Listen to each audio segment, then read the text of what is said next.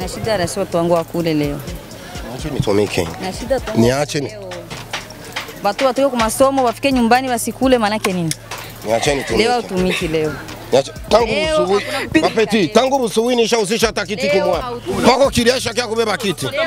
Bidon, ibi ni biki bidondo Nimeshamada. Ndio.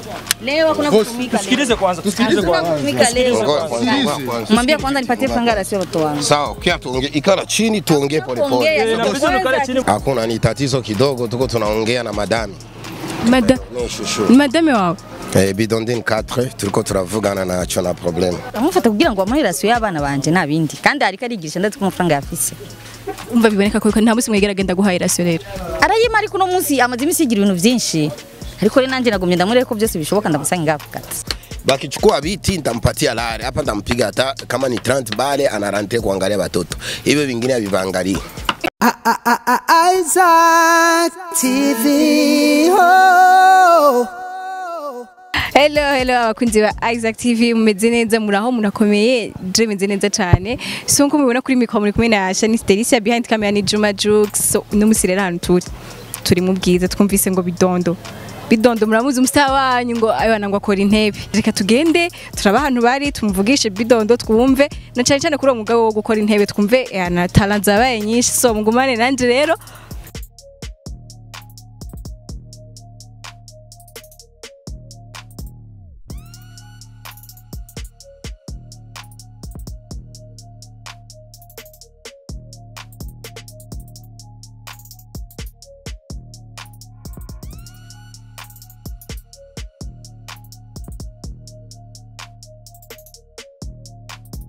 Murabona mu bwiza usanga ko batekera ku ibarabara ni hatari sana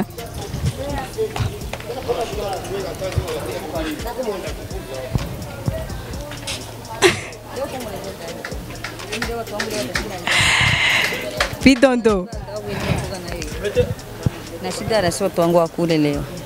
Niache nitumike. Na shida tu. Niache ni- Watu watoke kwa masomo wafike nyumbani wasikule maanake nini?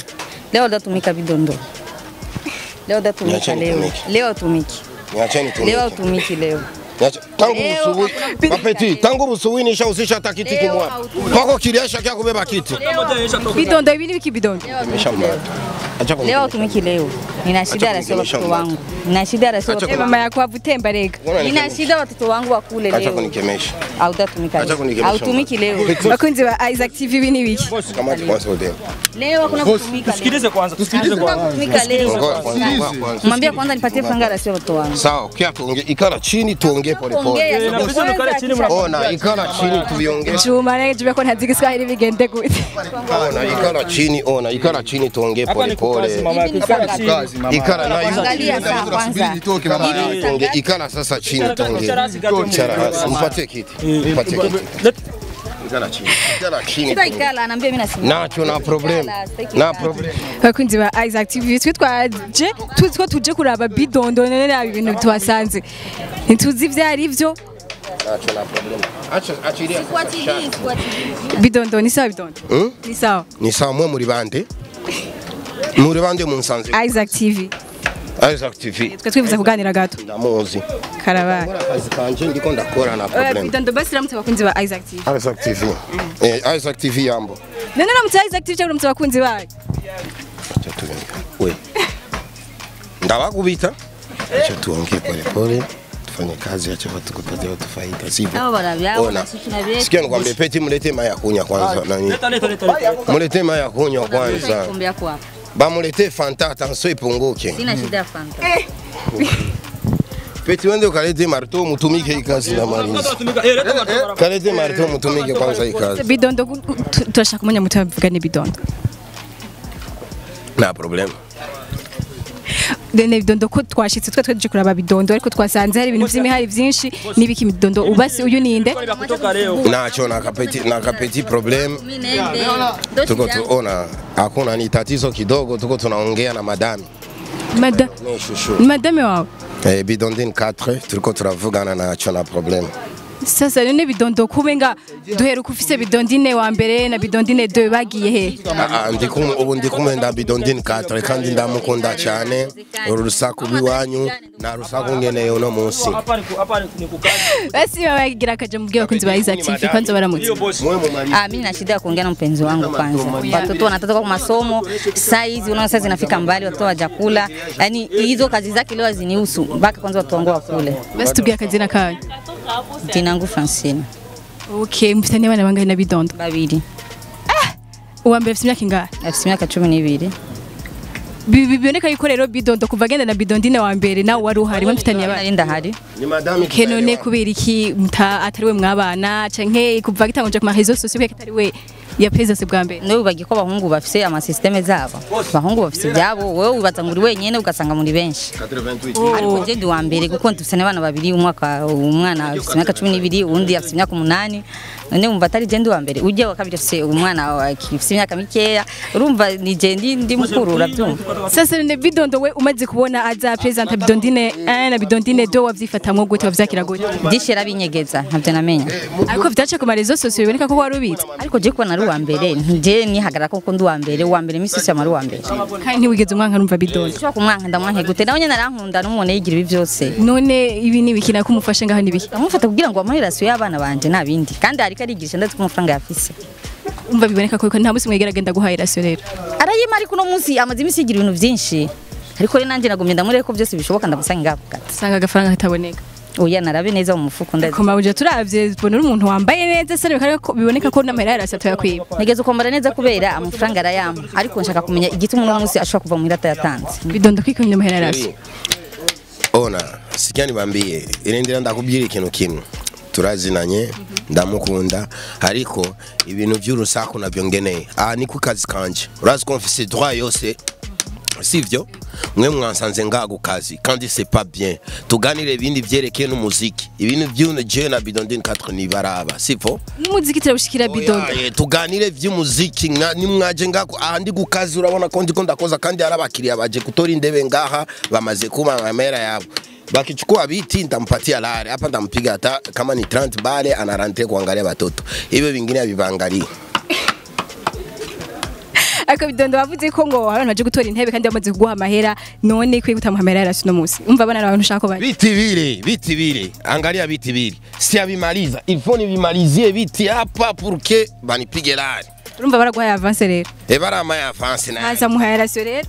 None ifunge nanje ndi umuririmbyi ndagura ikirato ciza urabona ko birazimvye none ngire ngo avance nayeguze ibirato.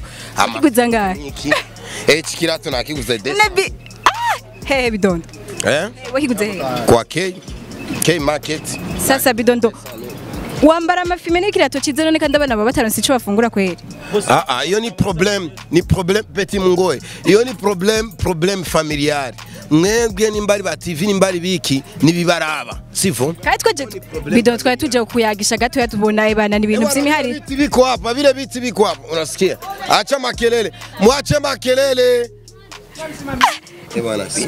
Naenda bwana sisi naenda basi bidondo mumuhaye amahera magenda hamagenda matuyage gatoya nawe Ah ah, sikia nikwambie. Hapa tutapigana. Hapo unakuya uko wangu. Viti tutachukua, banakia kuchukua viti na kupiga la. Shamtelefone. Shushu. bidondo Ulikodesha gari leo, mulilazima gari mnatia mafyeri. Toka kule. Pine natoboka. Una pine natoboka ndugu yangu. wabagiye ibyo nibibaraba ni problème familiale muri ko murinjira kandi c'est pas bien. Narahinduye ubu nsigara bose narabirukanye ubu sigara bidondine 4 nshaka kongera bidondine 5 na problème. Mabuje bivuga ko iki bidondo nsange jewe kuri uyu munota ntacyo mfise mvuga jewe ikintu nkeneye ni rasiyo y'abana banje nta bindi. Azana bidondine 5 na 10 we ntabe Uwo ndi na mwanya mfise hakuna kitambala kenkiko ndani. Mulete babebe viti, ona madami ananibana na anataka rasio mulete leta kile kitambala muangalie gisi mtanani hapa ule kiria shan telefone anakuya eh. Angalia nionyeshe leta vitambala vitatu nionyeshe kulere senzi ndani. Mwe mko mnafanya kazi haya bapeti. Mwe ni kama viti bila vifo, babebe viti. Hiyo ni kazi gani mko mnatumika? Bidondo bidondo ni Eh? bidondo bidondi ntwa nawe nawe twigeze tuwaje nawe nigeze mbona yagiye ya wewe vyahereye nde? Bidondi ntwa Kitambara chake kilikuwa ni hichi. makulere senezi Kulele ndio ziko ndio hizi ndio ziko hakuna vingine zaidi ya hakuna kulere nemo ndani jaune subiramo irya question iwawe mwangali mutafutie kulere ko jaune subiramo irya question. Wari uvuze? Nenda kubaje ati bidondi ne 3 yagiye je nawe nigeze mbona vyahereye hewe vyatanguriye biherera he Oh, je ndi kumwe na bidondine 4 ivyo vya 3 na Ugiye deni turasha none none bidondo soba bashize ahabona umva ifuko tubikubaza oya ibyo bintu bindi le passé c'est le passé il faut qu'on gagne le présent quand même le passé c'est le passé bapeti ariko bidondo ariko mama yake ifo wapatie leo tunataka twende shei batakupatia bakupakulie nini bidondo ariko waravuze ko ariganye ugeze gukora uvuga ko wasubiye na bidondine ah navyo oya le passé c'est le passé Maintenant, je suis avec les présents. Il faut que je parle avec les présents quand même. Hein. Ninde, Ah, ça, c'est la future. ça ne te regarde pas, ma future. Yoni future, ni kuraba, vraiment. Je turi muri présent. Il faut que tu gagnes le via présent. ni tu gagneras le passé avec la future, c'est pas bien. Tu gagneras présent quand même. ariko pase idufasha kubaka présent ga- Ndi murondera abantu banshore nga biti kujya mbere nimero 45 Eh, barashobora kuza bakabaza indebe bagadushorera turakora neza indebe bidondo madivan urabona ni indebe nziza nziza eh kandi ngani yo muhira navukiye nga uri madame ntibiraba nibibaraba turavugana. naco na wowe urinde kwanza kwa uri kurabaza ibintu byinshi ibintu byinshi byinshi cyane. Sheri sigani kwambie shishu shishu aba ni bafanya ni banyanyarusaku ndashaka kumenya usibaona uva. kwa bivuze turabanyarusaku rero oya ibanje urinde urinde ndashaka kumenya urinde. Sika kumva aba ni banyarusaku. Mimi na wewe tutaelewana. ndamubaze uyu nyine umva ndakubwire aba abo si chance. Aba ni banyarusaku. Barusaku uyu ni umugabo wanje eh turabisubiramo kandi birahera.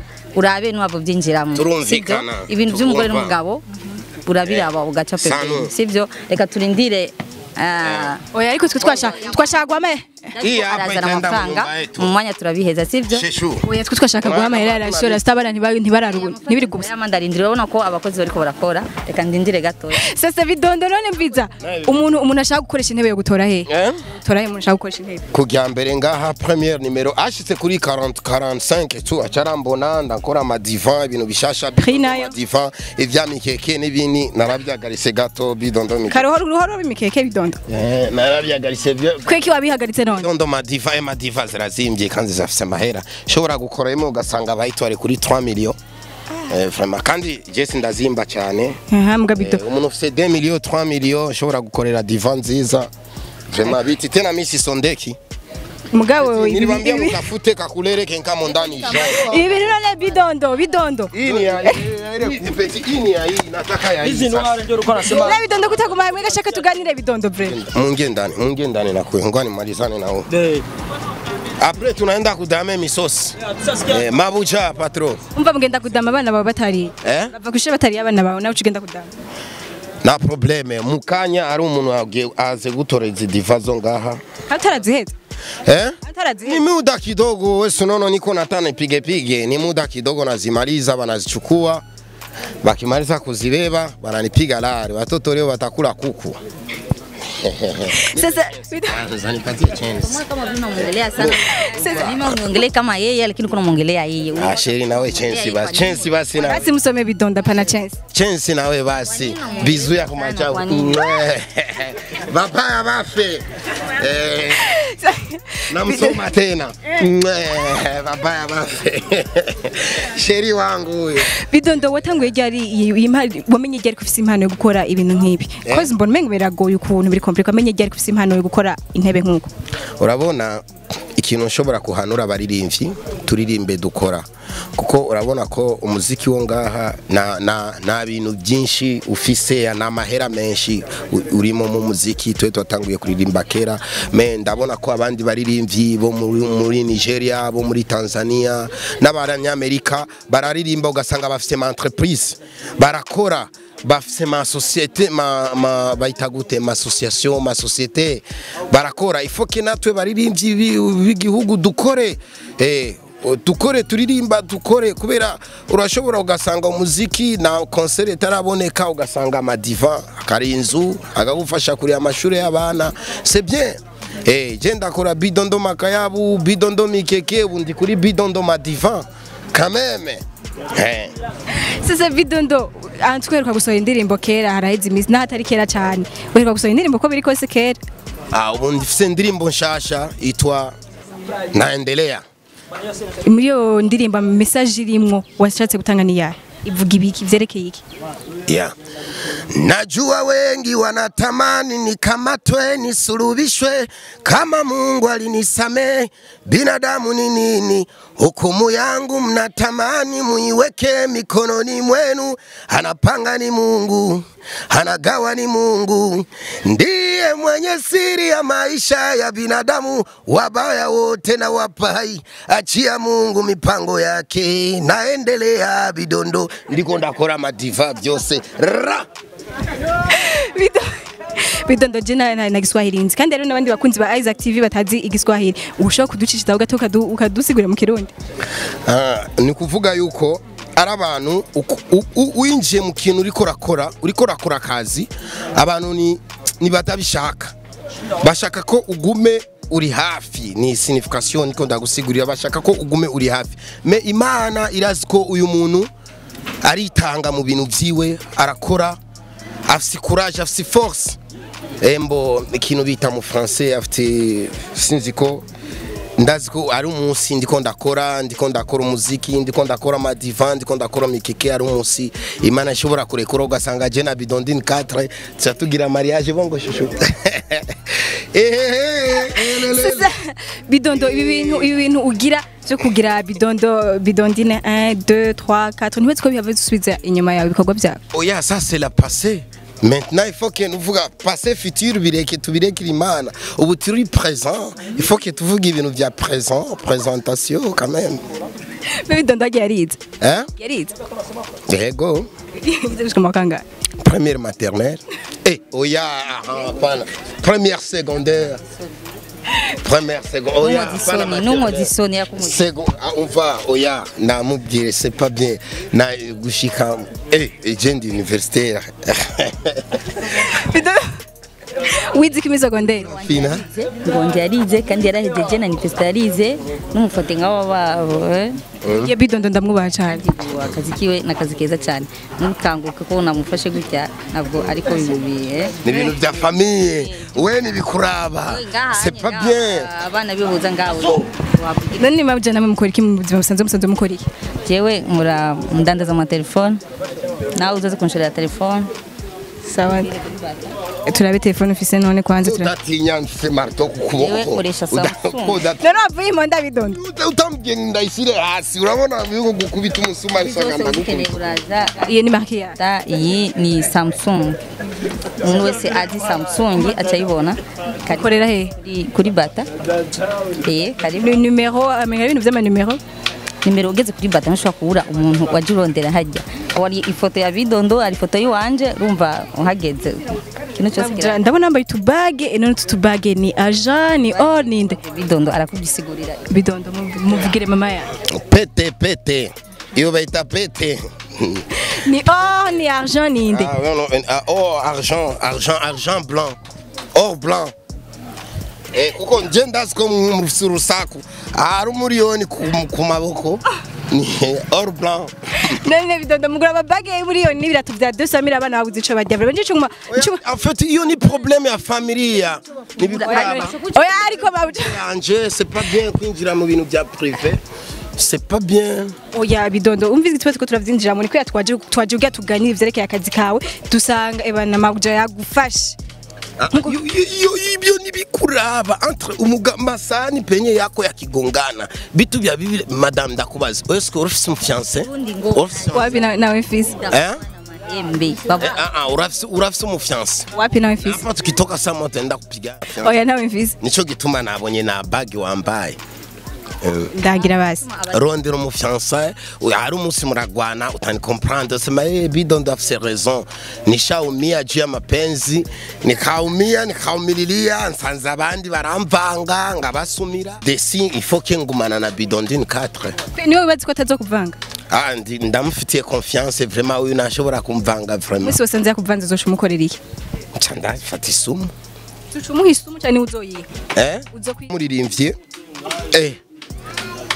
Namuririmbye shushu wanje sheri nakuririmbye nimemwimbia nyimbo mpya watu wataisikia na natarajia kufanya clip nzuri sana video itakuwa nzuri itakuwa kali katika mavideo za mwaka. Nadhani itakuwa ndani na watu wataikubali sana. Ya. Yeah. mbega management. Mariage. Ma- ma- management oh. urafise mariage hoho wambwiye management nca ndavuga management ya aca turimbe Ma- ma- aba n'amasiwe abone ingene uririmbira nabonye ko nta kindi kintu akeneye nta kindi kintu basi nawe muririmbire basi nawe. Nyine waririmba kubera wowe ushaka ko aririmba kwanza wumve ariko arandirimbira jewe. Kuko ibyo ariko arakubwira byose kuri jewe. Nta kimwe wumva. Rero Ah, ndiko ndavyumva nakwaje urafise management. Nimekutana na wengi ila kwako nimetulia, yakasemwa mengi yako masikio yakasikia, tumebana nami na wewe kama pete kidole, furaha yangu ni wewe, ukujali kelele, nikiwa nawe naringaringa ariko mbabarire nkukubwira bya garasiyo mu kanya nshaka ndaguhe 30 mille ugende gusumira abana. Okay ne bidondo muhaye 30 mira cagura mwihe uvuga muhaye 30 mira cagura mwihe ingoko gusa ya 15000 n'ibirungiro n'akafu kagari ngiro nibi biungo uzi kuza muhira eh akazi kenshi ifoke namwe. Murabe ukuntu mushobora kundibara. Okay, bidondo, gira- bitwa gute Isaac TV Isaac? TV Ah, Isaac TV ndabakunda cyane. Ah ya bundi ndabona Juma Jux yakunda gufata kamera. Nawe sindarakumenya witwa gute? Nitwa Delicia. Delicia uri mushasha muri Isaac eh? ego Ah, ndamuzi Juma Jux na Isaac mwenyewe. Nubu ndabone Delicia mushasha mba chance wagwan rapatata bidondo indirimbo yabayirindire ryari basi. Iyo ndirimbo yabayirindire gushika ryari mbo audio namaze kuyishira kuri YouTube. Abantu bagende kuri YouTube banditse bidondo gusa baca ba subscribe kuri bidondo kandi numubagiye subscribe kwa Isaac TV numusubscribe kwa Generator bidondo hanyuma mucandika naringaringa by bidondo muca mubona indirimbo yanje shasha iri audio. Mugabo ndiko ndapanga clip video uku kwezi kwa kabiri. Kuri Saint Valentin mapema sana. Bamujana ngira akajambo tubwiye Ah, wo gushakira rasiyo gusa? Jewe ikintu nkeneye nga kuri umunota yacyumvise ariko n'akazi kiwe ni keza sinongera nabivuze ubyumvise kuko wame washatse umenye ibintu byose. Umugabo wanje arakunda akazi afise akazi keza. Okay. bakunzi ba Isaac TV rero bidondo yabasabye muzoze gukoresha intebe iwe murabona ko akora ibintu bitesa ibintu bimeze neza. En tout cas vraiment bakoze ha izakitivi rero ngomba kuri mikoro ari kumwe na shansi derisi behind kamera juma jukes ntibagira ama subscribe behind turakeneye cyane ciao ciao Isaac TV. Oh.